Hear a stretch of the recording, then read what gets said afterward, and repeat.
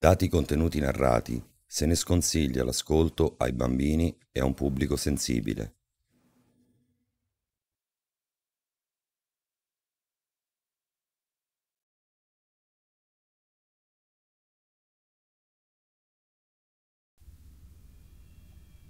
Il mistero dei bambini di Rebiribo 00 Capitolo 63 Sara Non ho sonno. Sono le 5 del mattino e vabbè, penso che non dormirò. Tanto fra un'ora mi devo preparare per andare a scuola. Rimasi a fissare il soffitto per un paio di minuti quando ad un certo punto vedi Giulia. Ciao Giulia, come stai? Bene. Puoi venire un attimo con me? Dove? Io poi ho scuola.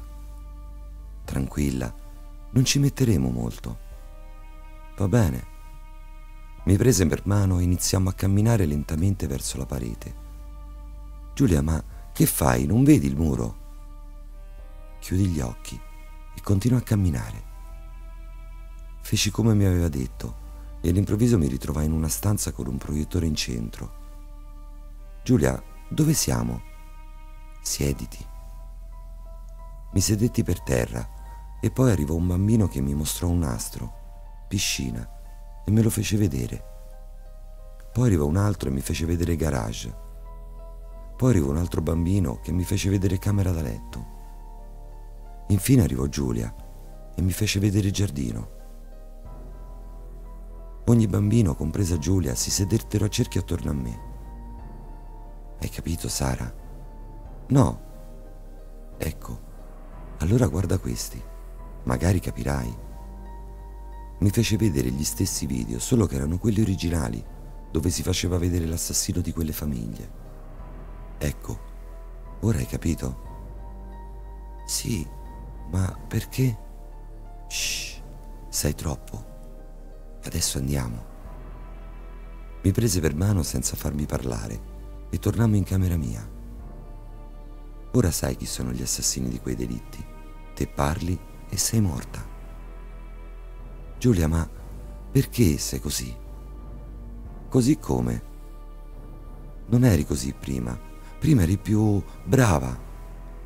Ma io sono brava. È solo un avvertimento quello che ti ho detto. Va bene, ora vai che devo prepararmi. Giulia scomparve non ci posso credere. Io so chi ha ucciso quelle famiglie, ma non posso dirlo a nessuno, se no è l'ultima cosa che farò. Non parlerò. Ormai sono le 6.30, scendo giù a fare colazione. Ciao papi, ciao Est. Ciao piccola, dissero assieme. Cosa c'è da mangiare? Cappuccino e brioche appena comprate. Non c'è il latte? È finito.